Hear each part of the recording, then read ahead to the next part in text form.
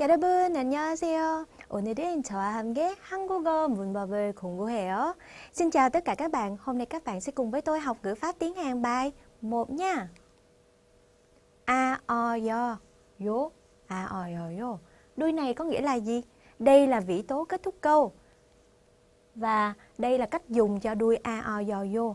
Vĩ tố vĩ tố kết thúc câu a o yo yo này dùng cho trường hợp nào các bạn? Dùng khi mà mối quan hệ giữa hai người, giữa những người nói đã trở nên thân mật hơn hoặc những người bạn với nhau, những người trong gia đình với nhau thì chúng ta sẽ dùng đuôi a o yo yo. Thế thì đây là cách dùng của đuôi a o yo yo.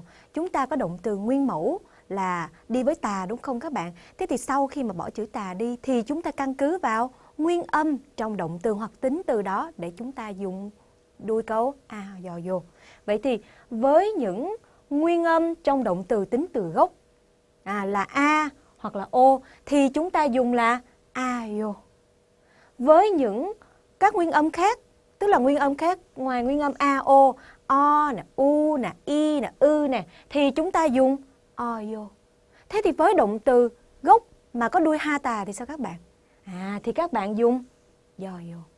À vậy thì để mà dùng cái cách để để dùng cái đuôi câu a, o yo yo này thì chúng ta phải căn cứ vào nguyên âm trong động từ gốc sau khi bỏ chữ tà đi nha các bạn. Được chưa? Thế bây giờ chúng ta sẽ cùng nhau làm ví dụ nào.